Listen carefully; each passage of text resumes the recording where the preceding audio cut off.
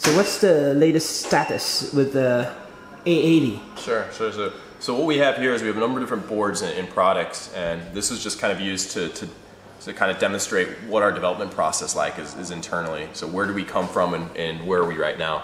So from here, what you'll see with this board, what this is this was the uh, early board that we used to kind of do debugging and, and, driver development on the 80. So as you can see, it has a lot of expansion ports, uh, you know, baseband port, LCD expansion port. So something like this in the very early stages of IC verification, this is what we this is what we use. And then from that stage, we moved on to uh, the OptimusBoard. So what the OptimusBoard was, this is also being used as a early stage development board for uh, for our box solutions, for our OTT box solutions on the 80.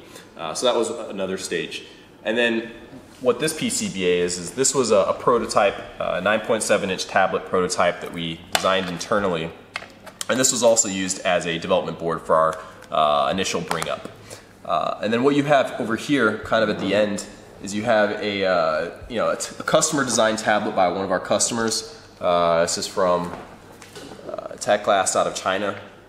So what this is, this is actually a finished product, 9.7 inch tablet that is uh, kind of the culmination of all this work, right? So you have the verification work, you have the initial prototypes, uh, and then you actually have the customer design that you know, is, is able to get to market faster because we've already done all the preliminary uh, solution design and a lot of the solution debugging. So that's really, uh, you know, kind of a, a brief look at, at, at, where we are and where we came from. And then this, this right here is uh, CubieBoard 8. So this is the, the 80 board that, that CubieBoard is bringing to market.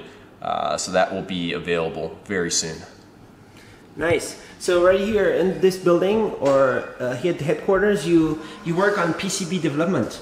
Right, right, right. So PCB in addition, design. yeah. So what Allwinner Strength is, is it's uh, we do IC design, right? But what's very important about uh, bringing a successful IC to market is having the solution ready. So the solution is the hardware solution. It's also the software solution. So you need to have a really robust hardware solution that's been verified and designed so you can bring the product to market faster.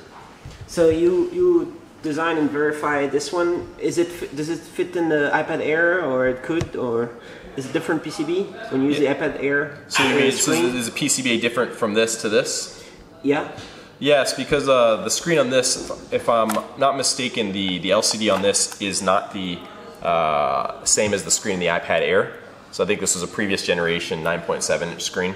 Uh, so we kind of do verification and development on this and then uh, you know, kind of move to helping customers debug their, you know, their individual hardware design. So how much of that work happens here at your headquarters? How much in, in Shenzhen? Yeah, so uh, there's a design team in Zhuhai. There's also a design team in, in Shenzhen.